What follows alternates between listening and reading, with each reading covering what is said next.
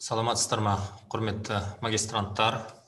Ә, менің аты жөнім бекназаров рахым ағыбайұлы боламын ә, тарих ғылымдарының докторы ә, осы жұбанов университетінің ғылым және инновациялар жөніндегі проректорымын сіздерге мен беретін пәнімнің тақырыбы тарихи деректермен жұмыс жасау әдістемесі деп аталады.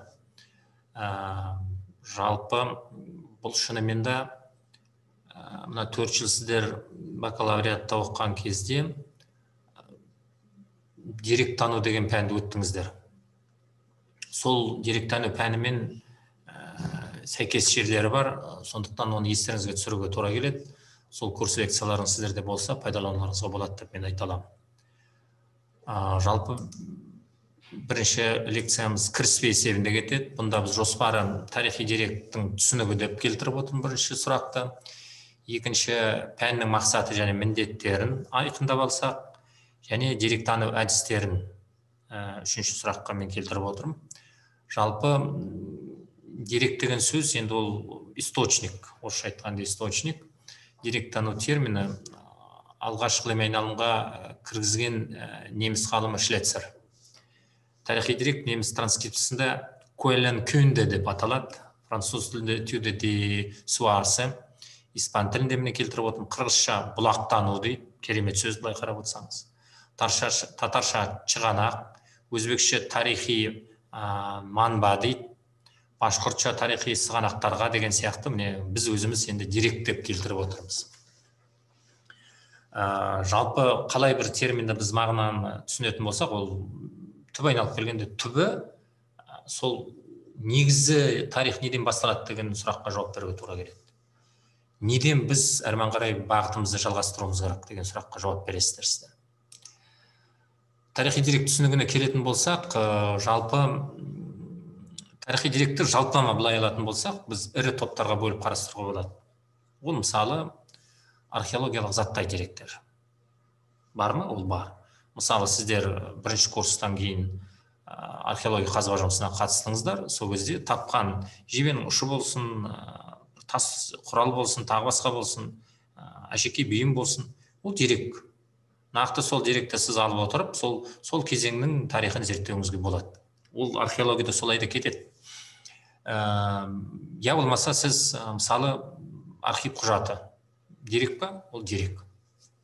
Архивке сіз барған кезіңізде мысалы әр заманның өзінің белгіленген қол қойылған бөрі басылған шыққан кітап сол кездегі құжаттар салық жаңағы налог төлеген құжаттар болуы мүмкін. Сотқа ату жарасына берілген мысалы отыз жеті отыз сегізінші жылдардағы құжаттар. Я болмаса беріректе келгенде мына компартияның шешімдері тағы басқа. Құжат па құжат. Конституциялық құжат па құжат.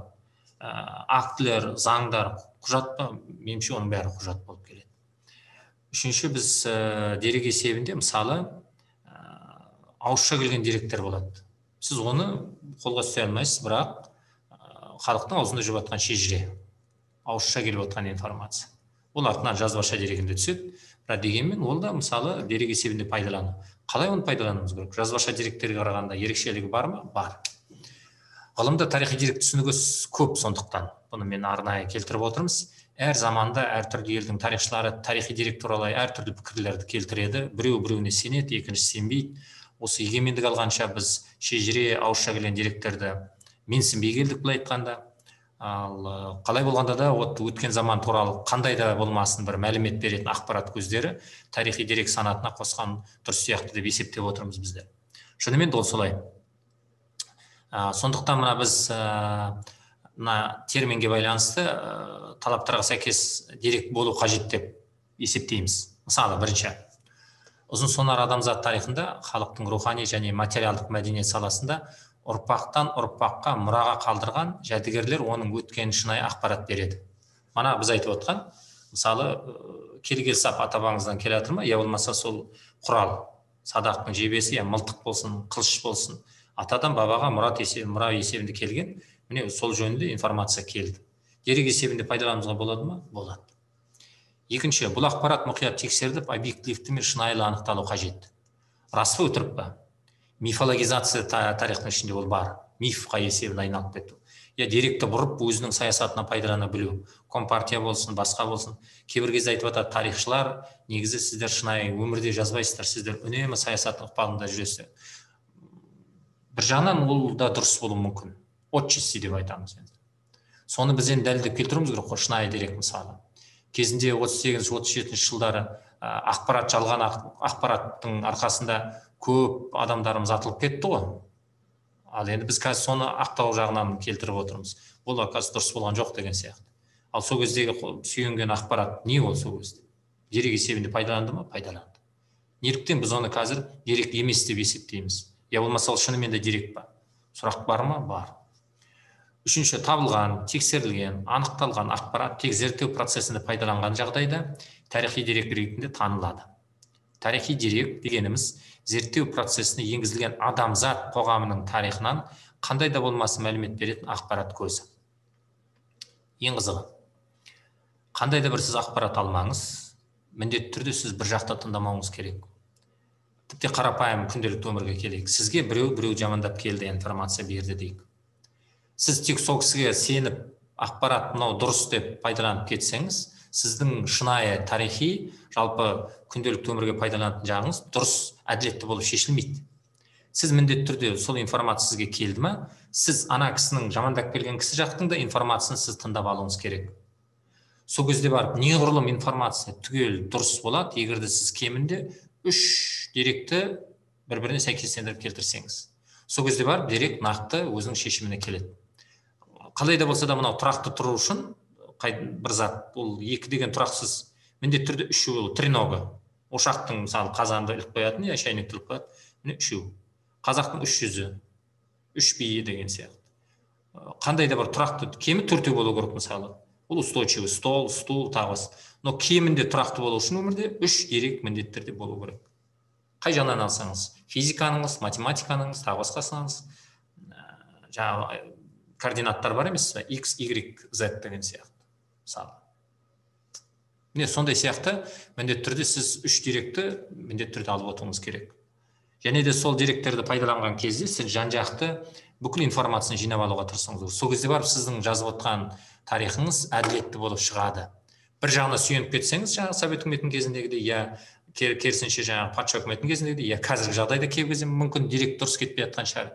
Ұлттық деңгейде білмеймін енді оны да біз қарастыруымыз керек. Осы күнге дейін ғалымдар арасында ақпарат көзіне адамзат тарихын мәлімет беретін қандай да жәдігерлерді жатқызуға болады деген мәселе жөнінде пікірталас әлі күнге дейін жүріп жатыр. Қайсысын біз дерек есебінде пайдалануымызға болады? Олардың бір тобы оған адамзаттың іс әрекетіне байланысты қалған ізді след.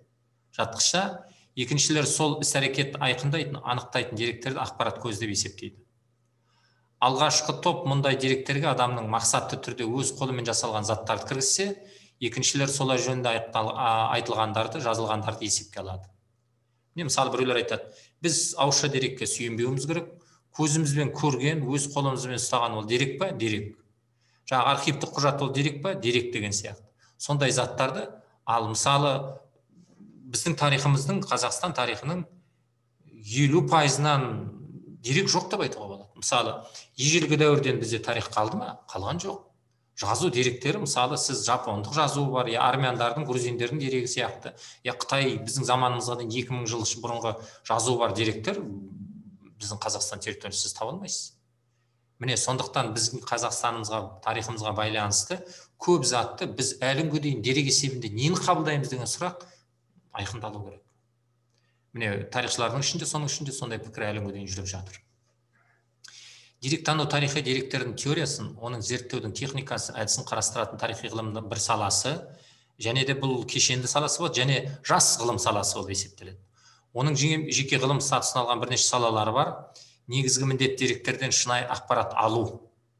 Ал енді сол ол шынайы ма? Ол өтірік па? Кім оны шешеді? Ол ложный информация ма? Или шынымен де ол шынайы информация ма? Бұны кім шешіп береді? Кім біздің сол деректерді сот есебінде мынауың дұрыс деп анықтап беретіні? Сондықтан біз кейбір жағдайда өзіміздің деректерді зерттеген кезде ең бірінші кешенді қай жағынан болса да сол деректі салыстырма есебінде зерттеуге тырысуымыз керек. Ол тек тарихи пәндер емес мысалы. Археология этнография антропология деректану жаңа біз айтып отқан источниковедение архивтік құжаттар табу ол емес. Біз деректі алған кезде мүмкін оны жаңағыдай жаратылыстану пәндерінің физика математика биология химия генетика тұрғыдан жан жақтан сондай пәндерді география топонимикамен байланыстырып келтіру. Филология тілдің дамуына байланысты. Міне сондай заттарды біз кешенді есебінде келтіруіміз керек. Сол кезде барып сол дерек өзін ойнай бастайды. Соны біз жаңа арнайы айтып отқанымыз бұл кешенді ғылым саласы деп арнайы айтып отқан жайымыз бар. Пәннің міндетіне келетін болсақ ә, енді ол міндеттері өте көп бірақ топтастырып келген кезде мына біз арнайы деректану деп отырмыз. Соның ішіне мен әдісіне тоқтап отқан жоқпын. Арнайы мына деректануды біз бірінші белгілеп алайық. Что такое источник? Ал сол источникті зерттеу әдісін біз оны бөлек қарастырамыз. Деректанудың ғылыми ретінде қалыптасуы. Мысалы источниковедение ол қайсы дерек қайсы дерек емес. Оның пәні мен міндеттердің теориялық сипаты бар екендігін түсіну. Мысалы біз тек қазақстанның территориясында алып отқан мына пәнді зерттемеуіміз керек. Біз әлем деңгейінде дерек деп нені есептейді? Ә, әлемдік деңгейде источниковедение қалай зерттеліп жатыр? Оның өзінің заңдылықтары бар ғылым болғаннан кейін. Ә, соны біз қарастыра білуіміз керек. Үшінші оның тарихи пәндер арасындағы орнын анықтау пән аралық статусын мойындау. Жаңағы біз айтып отырмыз үнемі қазіргі жағдайда таза пән деп айтуға келмейді. Сіз қай саланы алмаңыз міндетті түрде оның бір бірімен жалғасып жататын пәннің байланыстары бар. Сіз тарихты ойлайсыз тарихқа түстім мен математикадан физикадан дұрыс болмағаннан кейін құтылдым мен тарихқа бардым деп сіз тарихқа келгеннен кейін сіз міндетті түрде амал жоқ хронологияны зерттейсіз ғой? Зерттейсіз. Соның хронология ол цифра ол уақыт. Айналып келіп сіз траектория тағы басқа деген сияқты физикалық геометриялық ә, математикалық санауларды мысалы хиджра ә, жылын мына грегендар календарға аудару. Математикамен не ол? Математика. Тағы да біз айтып отқан жаңағы адамның генетикалық тұрғыдан оның жер бетіне таралуы. Айналып келіп сіз антропология тағы басқасын биология генетикалық тағы да айтып отырмыз. Мынау ә, заттармен сіз міндетті түрде оны байланыстырып қарастырасыз. Хомо сапиенс адам қалай пайда болды? Астралопитек древопитек хомо эректус тағы басқа деген сияқты. Сіз айналып келіп сол биологиялық тұрғыдан генетикалық пәннің әдістерін сіз пайдаланасыз. Ә, жаңа біз айтып отқан міндетті түрде сіз тарихқа жауап бергеннен кейін тарихта үш сұрақ болады. Ол что где когда? Егер де осы үш сұраққа сіз жауап бермесеңіз сіздің тарихи неңіз шынайы жауапқа келмейді. Что ол пәннің зерттеу объектісі где это уақыт время хронология когда это территориальная принадлежность это география. Ол қазақстанда ма ол ә, сикоку хансю аралында ма жапонияның ол жаңағы біз айтып отқан полинезия микронезия ма тағы басқа деген сияқты оның я арал аралдарда ма я америкада ма міндетті түрде сіз сол антарктида мүмкін ол кезде. Иә болашақта мен тағы да қайталаймын болашақта сіз ә, марстың адамы сияқты. Неге оны зерттемеске? Ол да келеді. Ә, төртінші тарихи деректердің табиғатын және мәнін оларды топтау түрлері мен түршелерін эволюциясын зерттеу. Ә, бұған біз қайтып келеміз. Түбі айналып келгенде біз ә, бұл ә, классификация түріне келеміз. Ол жөнінде мен арнайы қазір тоқтап өтем. Мен ойлаймын классификацияны жалпы біз бір семинар есебінде тек нақты типология классификациясы біз тоқтап кетуіміз керек. Семинарда мен ойлаймын бір екінші семинарым екен біз арнайы соған бір арнап көрсек. Көреміз оны. Бесінші олардың беретін ақпараттық көп құрылымдылығын және олардың түрлі формасын сапа мен санасын сипаттау анықтау. Бұл описание. Түбі айналып келген кезде мен үнемі қайталаймын. Ә, біз мына қарапайым ручканың өзінен сіздер міне магистратураға түсіп отырсыздар ғой. Егер сіз бакалавриатта жүргенде мынаған сипаттаманы бір бет жаза алмайтын болсаңыз сіз магистратураны бітіргеннен кейін еш жерден интернеттен іздемей ақ еш жерге сіз көңіл аудармай ақ өзіңіздің алған біліміңізге байланысты мынау ручканың сипаттамасын сіз беруіңіз керек. Бір бетке өзіңіздің ойыңызды жатқызу керек. Мысалы мен мынаны ручканы сөйтіп жаза алатын едім. Ручка пластмассовая, состоит из э, стержня, чернила синие, шариковая ручка, пластмассовая ручка состоит из корпуса самого и закрывающейся крышки. Здесь же имеется резиновая прокладка, которая дает для удобства написания. Принадлежит марке Max Writer, компания лицензия финская, но выпускается в Китае, стоит столько-то там тенге. Следующее описание кетеміз. Эта ручка принадлежала тому-то, тому-то мына шежіресін бастауға болады. Начато Бекназаром в таком-то году и вот продолжено профессором бір нәрсе деген сияқты. Міне сөйтіп сіз мына ручканың өзінен тарихын сіз бір бет ешкімнен көшірмей жазуыңыз керек. Ал қазір сізге бір бет хатты бір өзіңдің ойыңызды жеткізіп бер деңізші, жаза алмайсыздар. Қиналуға тура келеді. Міне ә, тағы да дерек есебінде осы деректі өзінің описание жаса оның сапалығын тағы басқасын. Мына сапалы сіз сипаттамасын ручканың жазып бергеннен кейін сол сипаттаманы біреу америкаға сіз салып жіберіп ананы оқып отырып ол уже мына ручканың ойында представлять ету керек. А оказывается мынандай ручка екен ғой деген сияқты. Көрдіңіз ба а не деревянная и не перо это и так далее. деген сияқты ой так пәннің міндеттері мына бесінен біз анықтадық енді ә, деректану пәні мақсат жаңа міндеттер деп отырмыз ғой осы біздің жаңа белгіленген ә, міндеттерге ә, мақсаттарға жету үшін төмендегідей міндеттерді іске асыру қажет деректану пәнінің кәсіби тарихшылардың дайындалуда қажеттілігін дәлелдейді ә, бұл жерде көңіл аударуыңыз сіздер кәсіби тарихшылар то есть профессиональный историк кәсіби тарихшыларға мен мысалы өзім жатқыза аламын сіздер магистратураға түскеннен кейін сіздер автомат түрінде кәсіби тарихшылардың когортысына сіздер кіріп отырсыздар. Неге десеңіз сіздер әуесқой тарихшылар дейді. Сіздер бакалавриатты бітіргеннен кейін магистратураға түскеннен кейін сіз кәсіби тарихшы бола аласыздар. Мысалы ауылдағы кісі ол да тарихшы болуы мүмкін. Ол өзінің ата бабасынан қалған деректерге сүйеніп отырып өзінің шежіресін жазды. Менің әкем осындай болды председатель колхоз болды бір нәрсе деген сияқты сондай деректерді жазады. Өзінің үйіндегі документтерді келтіреді фотоларын салады. Ол тарихшы өзінің есебінде бірақ ол әуесқой тарихшы. Иә ол жаза алады аудандық газетке тағы басқа тағы басқа деген сияқты.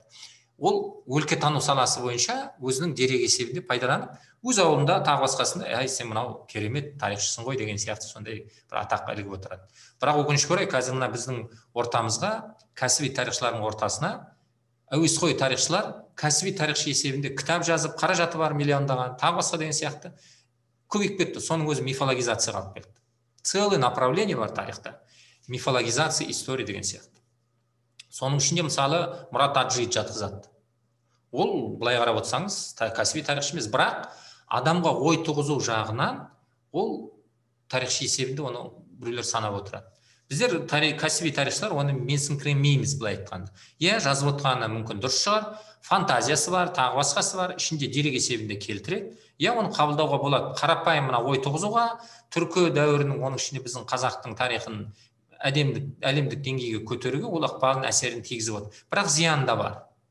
Міне сондай сияқты біз мына деректі зерттеген кезде кәсіби тарихшы жаңағыда айтып отқандай үш міндетті түрде деректің жағынан сипаттама болу керек что где когда. Үш деректі жан жағынан сіз зерттеп кетіріңіз мынау сол кездегі айтылған архивтік дерек мынау заттық жағынан мынау тағы шежірелік жағынан мысалы. Сөйтіп келеді да жаңағы шынайы мынау дерек есебінде пайдалануға болады деген сияқты. Міне сондай ошибканы жібермейтін ол сіздер мен біздер.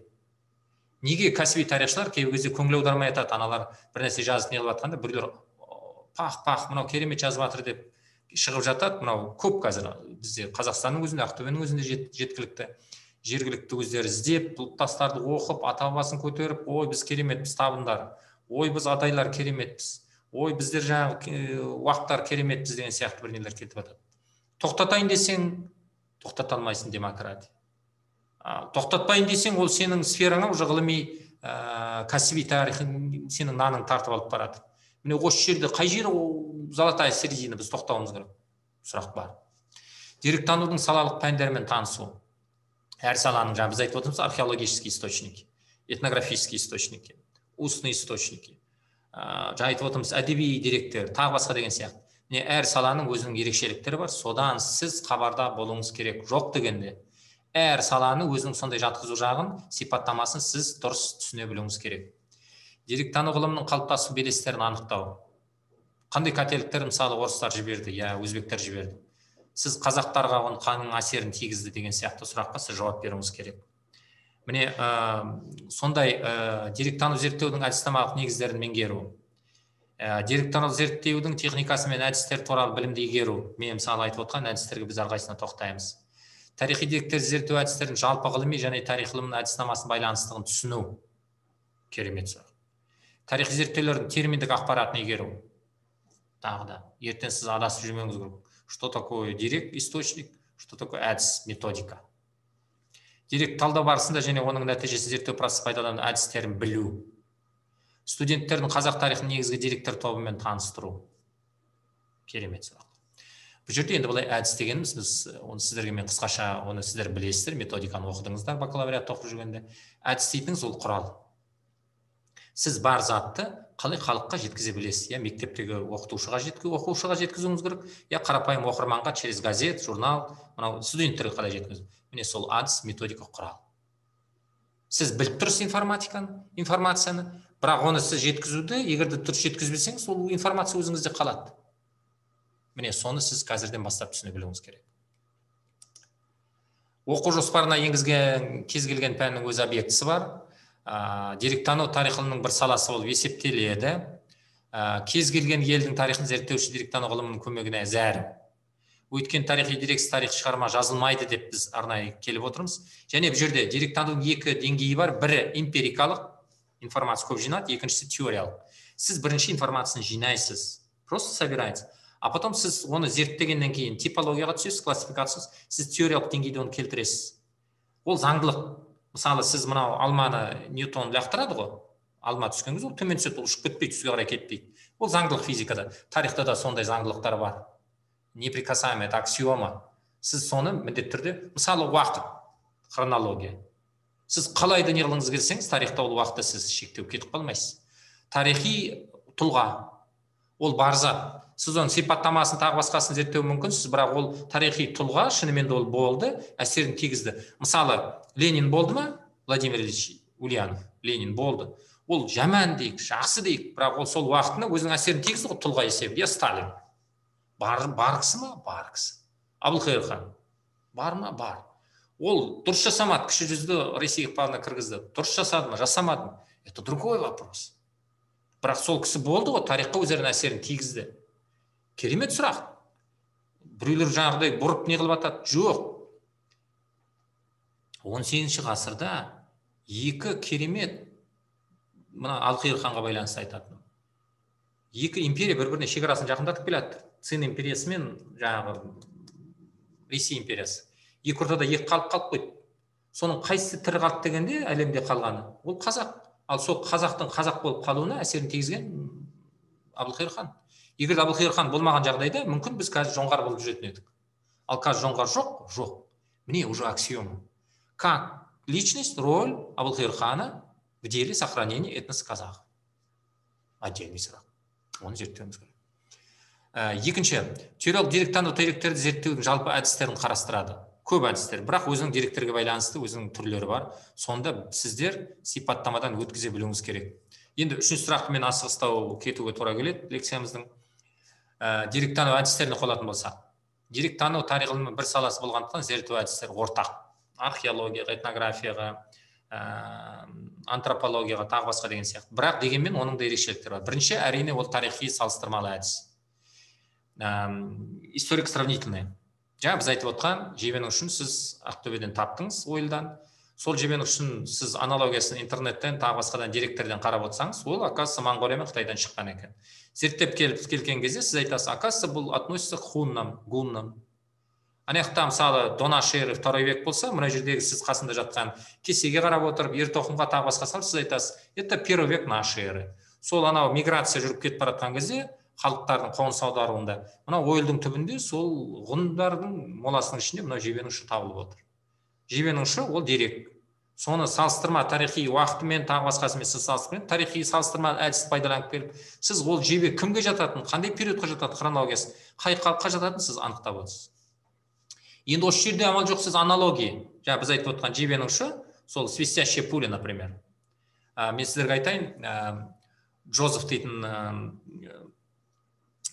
мен франц, француз зерттеушілермен жүргенімде ә, француз зерттеуші джозеф сол ә, интернеттен көріп қалады. Монғолияда улан батырда свистящий наконечник стрелайды зерттеймін деп ә, моңғолияға барады.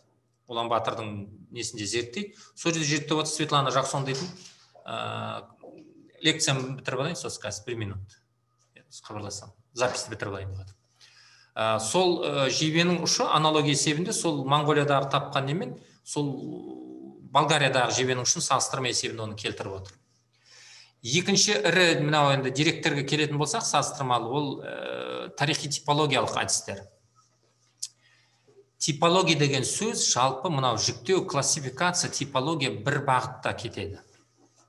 Қандай да бір зат сіз ә, сипаттамасын бастар алдында оның сіз өзіңіздің іштей жаңағы сипаттамасын беріп отырып оның қай типология заттың типына классификация жүйелеу системасын жүргізесіз.